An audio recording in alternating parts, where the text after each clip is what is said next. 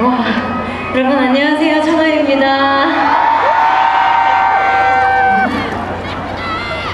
이렇게?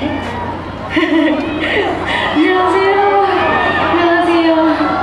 네, 방금 들려드린 곡은 Sparkling이라는 곡이었고요. 최근에 제가 활동한 곡이에요. 네? 그리고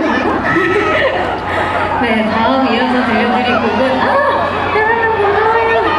네, 다음 이어서 들려드릴 곡도 최근 앨범에 수록곡으로 있는 곡인데요. California Dream이라는 곡입니다, 여러분. 상큼한 곡이니까요, 여러분. 많이 들어주시고요. 지금 많이 귀, 비가 그쳐서 다행인 것 같아요, 그죠? 엄청 걱정 많이 했어요, 저기서. 근데 지금 다행히 비도 막다 먹고. 좋아요. 상큼한 노래니까요,